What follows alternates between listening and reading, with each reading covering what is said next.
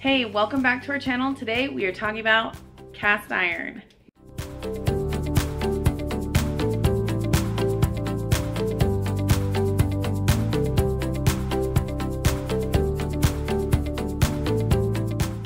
So on my list of skills that every homesteader needs to know, it has cooking and cleaning and using cast iron dishes, which I thought was a really great one and was kind of excited to share.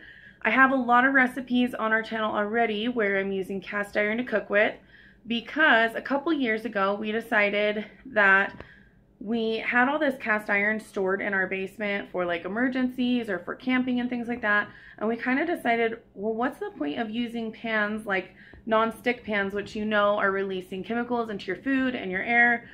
When we have this cast iron, why not just get it out and use it?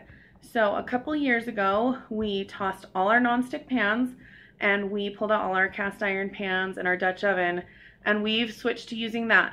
Now there are a lot of different ways and a lot of different information on how to clean cast iron. And so I'm gonna just share with you what we do.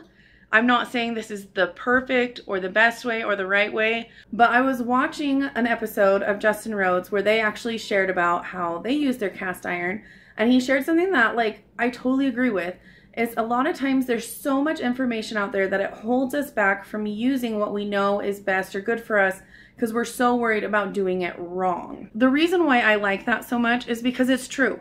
There's so often where we don't do a project or we don't use something because we aren't 100% sure the best way to use it. When really, let's just get started using it. So instead of showing you a bunch of different recipes or having you watch me make a bunch of different things with my cast iron, I'm just going to show some pictures of meals that we made and what they are with our cast iron but really there's tons. We use our cast iron for everything pretty much. And then at the end, I'll show you how we wash our cast iron.